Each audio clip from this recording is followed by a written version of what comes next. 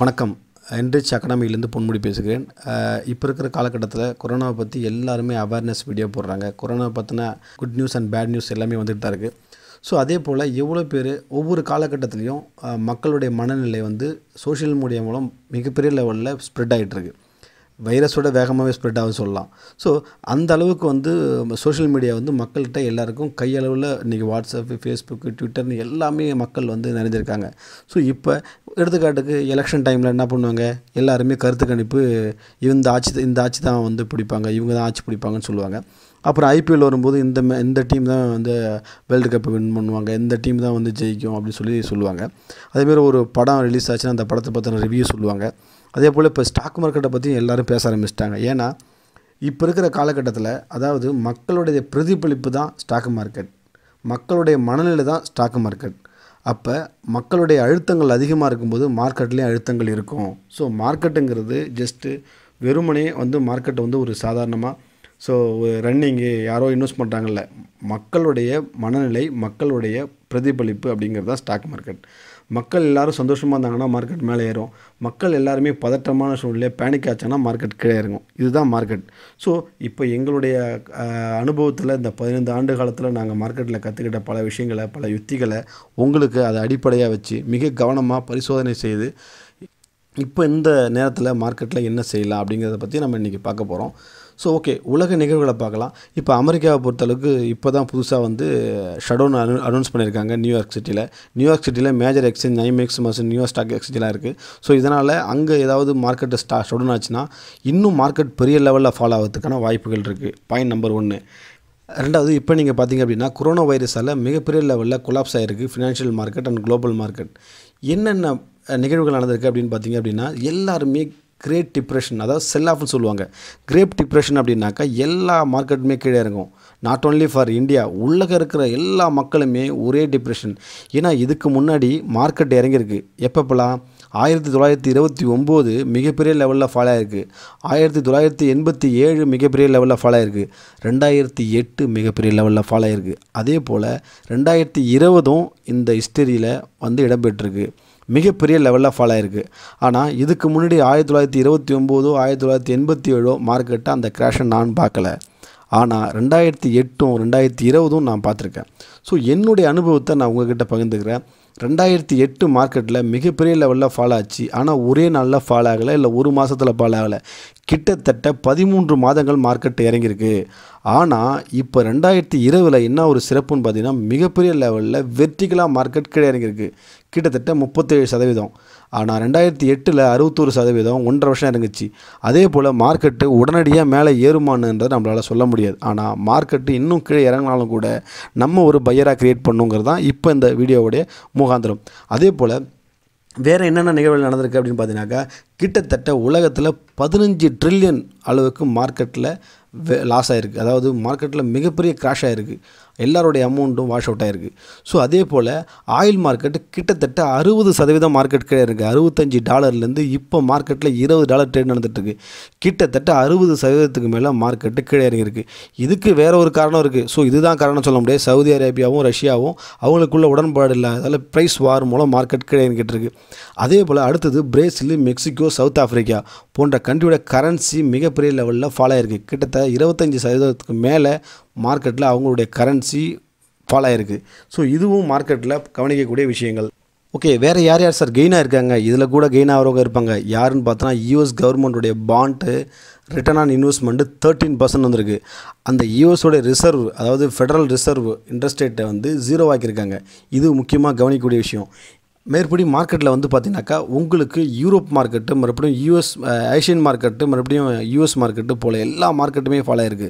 So இந்த fall தொடருமா? அப்படிங்கிற கொஷின் எல்லாருக்குமே இருக்குது ஒருவேளை இப்போ இருக்கிற கொரோனாவுடைய தாக்கம் கிட்டத்தட்ட உடனடியாக எல்லாமே சரி செய்யப்பட்டு ஒருவேளை வேக்சின் கண்டுபிடிச்சாலோ அல்லது இதுக்கு மாற்று வழி ஏதேனும் மேற்படி ஸ்ப்ரெட் ஆகாமல் தடுத்தாலோ இப்போ சைனா தடுத்ததால் மார்க்கெட்டு ஸ்டெபிள் ஆயிடுச்சு. மார்க்கெட்டு சென்னை தடுக்கிறதுக்கு முன்னாடி ஸ்டெபிள் ஆச்சு.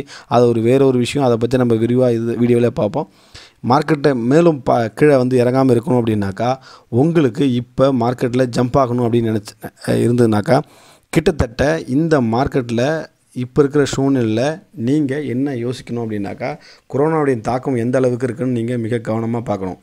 ஏன்னா இப்போ ஏஷியன் வந்து இந்தியாவில் பெரிய லெவலில் தாக்கத்தை ஏற்படுத்தலை. இந்தியா வந்து பார்த்தீங்கன்னாக்கா ஒரு மிகப்பெரிய share market largest share market அதாவது எம்சிஎக்ஸை பொறுத்த அளவுக்கு largest seventh stock broking company NSE பார்த்தீங்கன்னாக்கா லார்ஜஸ்ட்டு செகண்ட் ட்ரேடிங் கிட்டத்தட்ட ஃபஸ்ட்டு வால்யூம் கூட இப்போ தான் ரீசெண்டாக பண்ணியிருந்தாங்க.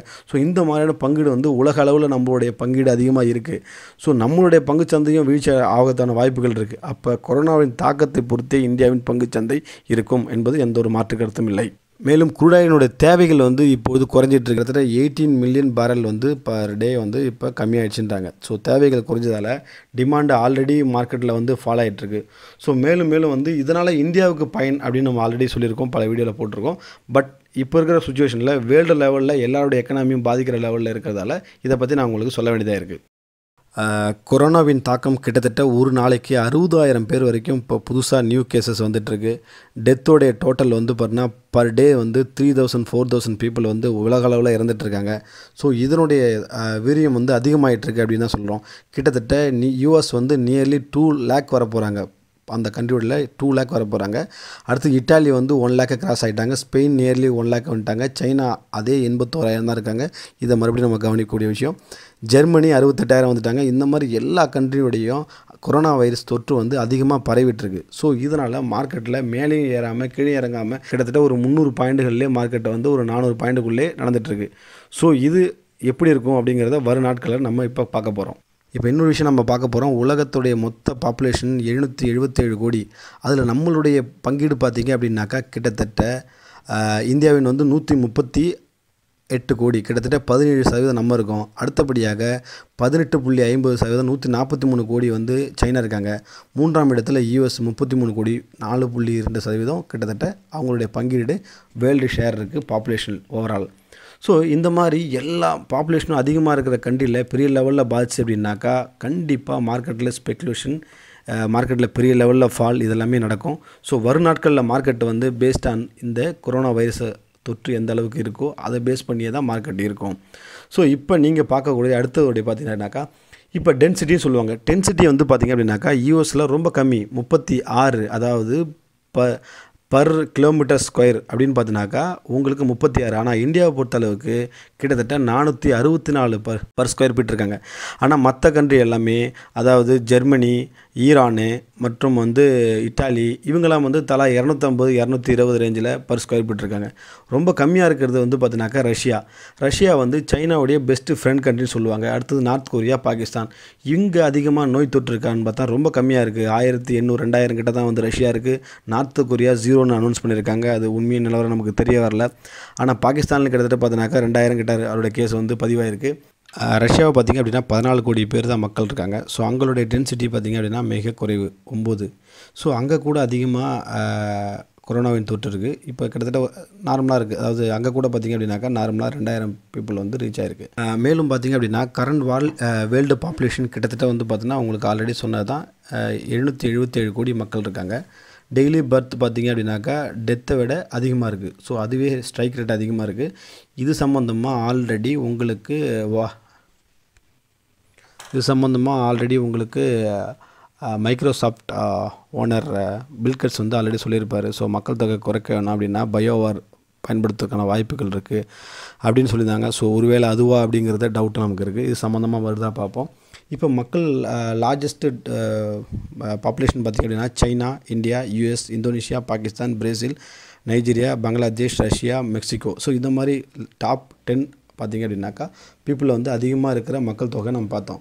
ஸோ அதே போல் அதே போல் இயர் ஆன் இயர் வந்து உங்களுக்கு ஒவ்வொரு வருடத்துக்கும் கிட்டத்தட்ட ஒன்று புள்ளி ஐம்பது சதவீதத்துலேருந்து ஒன்று புள்ளி ஆறு சதவீதம் வரைக்கும் கிட்டத்தட்ட மார்க் பாப்புலேஷன் வந்து உயர்ந்துக்கிட்டே தான் இருக்குது இயர் ஆன் இயர் வந்து மீடியமாக கிட்டத்தட்ட உங்களுக்கு ரெண்டாயிரத்தி இருபதில் இப்போ நீங்கள் பார்க்குற ஹிஸ்ட்ரி அதிக அளவு உங்களுக்கு உயர்ந்திருக்கு அப்படின்னு தான் சொல்லப்படும். நீங்கள் வேர்ல்டு பாப்புலேஷனை நீங்கள் பார்த்தீங்க அப்படின்னாக்கா ஏஷியாவில் தான் ஐம்பத்தி ஒம்பது சதவீதம் வந்து வேர்ல்டு ஷேர் இருக்குது அதில் முக்கியமான பங்கீடு வந்து இந்தியா அண்ட் சைனா. ஸோ இவங்க தான் மிக மிக பங்கீடு இருக்காங்க. அடுத்து ஆஃப்ரிக்கா கிட்டத்தட்ட பதினேழு சதவீதம் இருக்குது அதுக்கடுத்தது பார்த்திங்க அப்படின்னா யூரோப்பு நைன் பாயிண்ட் சிக்ஸ் சதவீதம் இருக்குது அடுத்து வந்து அமெரிக்கா அண்டு அரேபியன்ஸ் கிட்டத்தட்ட பார்த்தீங்கன்னா எயிட் பாயிண்ட் ஃபோர் இருக்குது northern America four point seven இருக்குது ஸோ இவங்க எல்லாமே வந்து பார்த்தீங்கன்னா ஓவரால் மார்க்கெட்டு அதேமாரி உலகத்திலே அதிகமாக மக்கள் வந்து பார்த்தீங்கன்னா கிறிஸ்டின் ரெண்டாம் இடத்துல வந்து கிட்டத்தட்ட வந்து பார்த்தீங்கன்னாக்கா இருபத்தி மூணு சதவீதம் முஸ்லீமு. மூன்றாம் இடத்தில் கிட்டத்தட்ட பதினாறு சதவீதம் யாருமே இல்லை. நான்காம் இடத்துல ஹிந்துஸ் இதை மாதிரி புத்தாஸ் இதை மாதிரி எல்லாமே வந்து மக்கள் தொகை விரிவடைஞ்சிருக்கு. ஸோ இதில் இப்போ வரும் நாட்களில் நம்மளுடைய ஓவரால் கண்ட்ரி வந்து அதாவது ரெண்டாயிரத்தி இருபதில் இப்போ இருக்கிற காலகட்டத்தில் seven point eight billion people வந்து அதிகப்படியாக மக்கள் வந்து பாப்புலேஷன் வந்து அதிகமாவதற்கான வாய்ப்புகள் இருக்குது அடுத்தது வந்து உங்களுக்கு வேர்ல்டு பாப்புலேஷன் வந்து மைல்ஸ்டோன் வந்து ரெண்டாயிரத்தி இருபத்தி மூணில் எயிட் பில்லியனாக மாறுவதற்கான வாய்ப்புகள் இருக்குது ரெண்டாயிரத்தி முப்பத்தி ஏழில் ஒம்பது பில்லியனாக மாறுவதற்கான வாய்ப்புகள் இருக்குது ரெண்டாயிரத்தி ஐம்பத்தி ஏழில் கிட்டத்தட்ட டென் பில்லியன் ஸோ இங்கிருந்து நம்ம பார்க்க போனால் ரெண்டாயிரத்தி ஐம்பத்தேழில் இப்போ இருக்கிற மக்கள் தொகை அப்படியே டபுள் ஆவதற்கான வாய்ப்புகள் இருக்குது அப்போ டென்சிட்டி இன்னும் அதிகமாக தான் ஆகும். ஸோ இதனால் இப்போ நோய் தொற்று எந்த அளவுக்கு இருக்கோ வரும் நாட்கள்லேயும் நோய் தொற்று வந்தால் இதை விட வேகமாகவும் விரயமாகவும் இருக்கும். ஸோ அப்போ மக்கள் தொகை டென்சிட்டி அதிகமாக இருக்கிறதால இப்போ மூச்சு காட்டு பட்டாலோ இல்லை கை கால் பட்டாலோ இல்லை வந்து யாருக்காவது கை குலுக்குனாவோ மேலே வந்து வைரஸ் பரவுதுன்னு சொல்லி ஆல்ரெடி எல்லோரும் பயத்தில் இருக்காங்க. ஸோ மக்கள் தொகை உயர்ந்தாலும் கூட இந்த மாதிரியான அட்டாக் வந்து வருவதற்கான வாய்ப்புகள் இருக்குது அப்படிங்கிறதுல மாற்றுக்கிறது இல்லை. ஓகே சார் இந்த மாதிரியான தருணத்தில் நாங்கள் என்ன சார் பண்ணுவோம்? As a stock trader as a investor as a நாங்கள் உங்கள் வீடியோ பார்க்குறதுல எங்களுக்கு என்ன பெனிஃபிட் இருக்குது நிச்சயமாக பாருங்கள் இதற்கு முன்னாடி ஒரு வாரத்துக்கு முன்னாடி நாங்கள் மார்க்கெட்டு இந்த இடத்துல ஸ்டெபிளாகவும் ஸ்டெபிள் ஆச்சுன்னா புல் பேக் இருக்குன்னு சொன்னோம். ஸோ ஒரு சின்ன புல் பேக்குக்கே கிட்டத்தட்ட பார்த்தீங்கன்னா நிஃப்டி ஃபிஃப்டி அதாவது இந்தியாவில் இருக்கக்கூடிய மிக முக்கிய டாப் ஐம்பது கம்பெனி தான் நிஃப்டி ஃபிஃப்டின்னு சொல்லுவோம். அந்த ஐம்பது கம்பெனியில் மிகப்பெரிய லெவலில் ஃபால் ஆனது ஆக்சஸ் பங்கு ரெண்டாம் மூன்றாம் இடத்துல நம்ம பார்த்துருந்தோம். இப்போ அதனுடைய ஸ்டாக்ஸு வித்தின் எ வீக் ஒரே வாரத்தில் கிட்டத்தட்ட இருபத்தஞ்சி சதவீதம் வந்து புல் பேக் ஆகிருக்கு அதாவது முந்நூறுரூபாயிலேருந்து முந்நூற்றி எழுபத்தொம்பது ரூபாய் வரைக்கும் ரெக்கவரி ஆகிருக்கு அதே போல் UPL Nestle India Bharat petroleum Grasim industry Reliance industry ITC Titan company LNT Britannia Hindustan Unilever Bharti infra Indus IndusInd bank Kotak Mahindra bank tech Mahindra bank HDFC Cipla and Wipro இந்த மாதிரி company தலா பதினோரு சதவீதத்திலேருந்து கிட்டத்தட்ட இருபத்தைந்து சதவீதம் வரைக்கும் மார்க்கெட்டில் மேலே ஏறி இருந்திருக்காங்க.